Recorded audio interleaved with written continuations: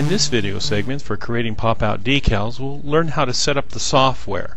Now a couple things we're going to be covering in this video is one, how to create a path for cutting through the media. How do you tell Cutting Master 2 that this is the path for digging in deep enough to cut completely through? The second thing we'll learn is preparing a job for printing. What do we need to turn off and turn on? Third thing we're going to learn is preparing the job to cut and this will be using Cutting Master 2 where we can assign a layer or each layer to a cutting condition. Now what you'll need is one like in the previous video how we set up the plotter. And I set up condition 1 for cutting through the vinyl layer or the top layer. And that force value was about 16. Now condition 2 was set up for cutting completely through the backing. And remember the force value there was 38 and I also enabled the perfline feature to assign it to condition 2 so that it would cut through but leaving little tag marks. And then these values I've written down and I'll use them during this setup or this demonstration. Now with cutting conditions, cutting condition 1 is set up to cut the vinyl layer so that the blade just cuts through the top and not the backing. And then condition 2 was set up so that it would cut completely through the backing, leaving minute tags to hold the media in place so that it doesn't fall out that can cause skewing. Here we have a perfect example or logo that I want to go ahead and cut out, but I want two lines. I want one line to cut through the material, the top layer, using condition 1 as we discussed, and then I want a secondary line to cut the backing so that I can pop out this logo to hand out. And the final result be, will be a decal that you can have an inner cut that you can pull out the Porsche logo and place it where you want. Now the first thing I need to do is I want to show you the cut line that I've already created because what I'm going to do is I'm going to create a cut through line based upon this. And the way I do that is I click on this line or this object and go to object path and then offset path. In this case I want to make it a quarter of an inch out so I go ahead and click in or type in 0.25 there it is the other thing I want to do is I still have to include my Graphtec logo, so I have to create a line for that. The easiest way for me to do this is to use a rectangle with rounded corners. So I'm going to go ahead and draw that around the Graphtec logo. There we go. And I'm going to go ahead and weld it to this current line that I just created. I do this by clicking on Pathfinder, Weld, and then Expand. And there I've got it. Now I also want to assign this to well, let me put it this way. I want to put a red line to this so that I can visually see the difference. This is just something I do. If you don't want to do it, you don't have to. But so I'm going to click and make the line red. So if I turn click off the object, turn off the print, you can see I have a red line and a black line. The black line to me represents cutting through the vinyl.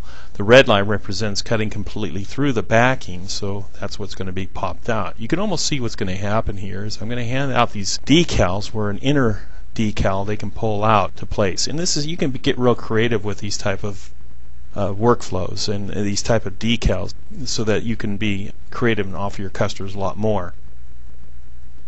So now that I've got my print cut, I also need to create another layer because I need to tell Cutting Master 2 when I cut this that I have two layers to cut. So I'll call this cut through. And then I want to go ahead and take this cut through line and assign it to the cut through. So I click on the cut through layer, right click on the object, go down to arrange and then send to current layer. Now I've got three clean layers that I can use and I like using layers because it keeps things uh, separated and, and easy to edit, especially if you have holes that you don't want, as I mentioned in my earlier videos.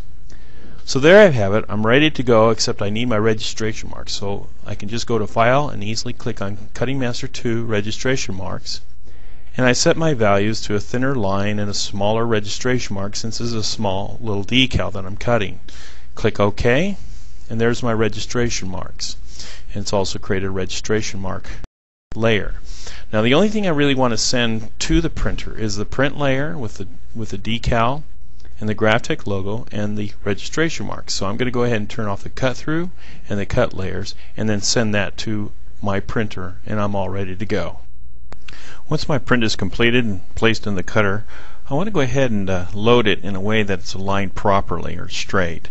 I do this because I need to make sure it's straight as possible. This is especially true with longer jobs. So what I do is I put my fingers on the registration marks and feel underneath for the Teflon mat or some corner where both of them can make it straight.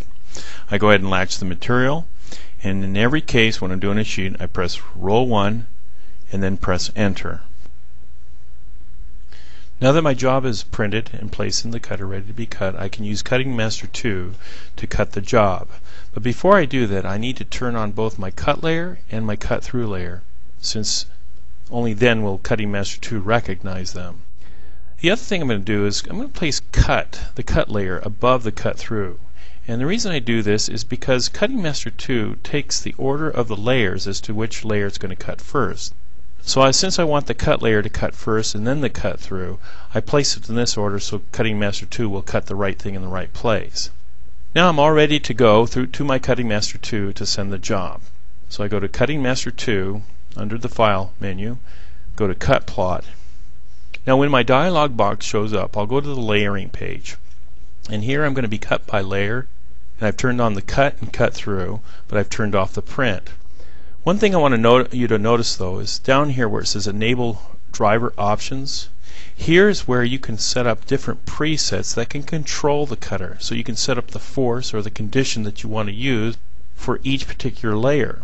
So for instance earlier what I did is I set up two different layers or two different presets. I set up the cut through that has the force of 38 that was the perfect force to cut through the material in my earlier testing and I've assigned it to condition 2 that has perf line settings so it leaves little tag marks so that the media doesn't fall out. And of course I set the speed to 40 and the quality to 2. The other preset I set up was the cut preset. Now here I set it to 16, the speed of 50 and the quality of 4 and also the condition to 1 and I did this because this is going to be the preset for to use for cutting just through the top layer of the vinyl layer. So with my cut layer up here, I set the setting to cut. And with my cut through, I'm going to assign that to cut through. Now what's going to happen when I send this job down, it's going to send everything that's in the cut layer. But what it's going to do first is going to tell the plotter to set the conditions to the force of 16 and, and, the, and the condition to 1. And then once it completes all those objects, or the one object, it's going to go ahead and send the cut through data. But before it does that, it'll tell the plotter to change it to condition 2 that has the setting for perf line, and then set the force to 38. That way, everything is done automatically. You do not have to do a thing after that. So now that I've got all my settings and my layers in, intact or ready to go, I, all I have to do is click on send. That will send the job into a queue that will hold it until I'm ready to send it. Once the media is loaded and the job is sent, it's going to find the registration marks. So once it finds the four registration marks, the cutter will actually orient itself to where the contour should be. Now it's found the fourth registration mark. It sets the cutter to the condition 1 that cuts through the top layer. That's just the decal with the Porsche logo. Next, it'll switch it to condition 2 where the force is higher and the perf line is turned on so it's able to cut a line all the way through.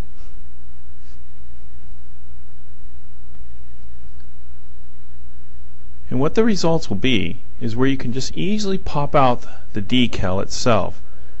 And remember we had an inner line that just cut through the vinyls so that I can easily just pull out the Porsche logo and place it where I want.